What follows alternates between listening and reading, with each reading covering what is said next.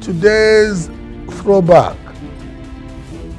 Usman Dan Fodio.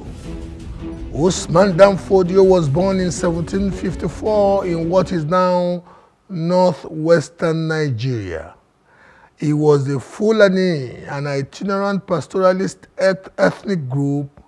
From a young age, he showed great intellectual and religious aptitude, receiving and enthusiastically acquiring comprehensive education in Islamic studies. In the early 19th century, the renowned Islamic scholar Usman Danfodio launched a jihad, that is, a struggle or fight against the enemies of Islam, which is called, quote unquote, the Fulani War, against the Hausa kingdoms of northern Nigeria. He was victorious and established the Fulani Empire with its capital at Sakwato.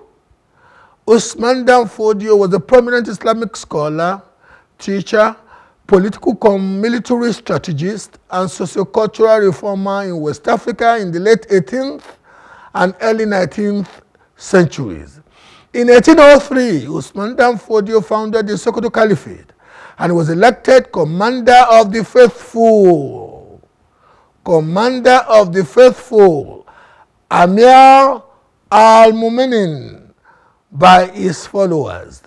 The Sokoto Caliphate reportedly expanded as far as Burkina Faso to parts of Cameroon and including most, if not all, of northwestern to parts of north central and northeastern Nigeria and southern Niger Republic.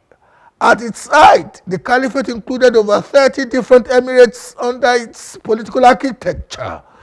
The caliphate ruled as the most populous empire in West Africa through much of the 19th century until the 29th day of July 1903, the Second Battle of Brunei concluded its dissolution with the defenestration of Sultan Muhammadu Atairu by combined British and German forces.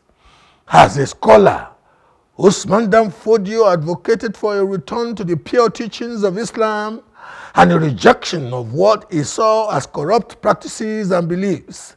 He criticized the rulers of the Hausa states in northern Nigeria for their perceived deviation from Islamic principles. The Sakwato Caliphate, under him until date, became a center for Islamic scholarship, education, and political administration, and it had a significant impact on the development of Islam in West Africa. Usman Danfodio also wrote numerous books on various subjects, including Islamic law, theology, and governance. His writings continue to be influential in Islamic scholarship in West Africa.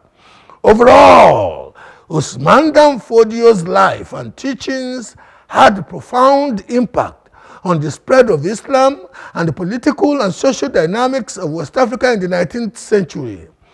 In conclusion, like Usman Danfodio, how effectively is your life and conduct positively inspiring the qualitative transformation of the society where you live and operate? And that's it on the show tonight. I am Bola Oba. Have a good night.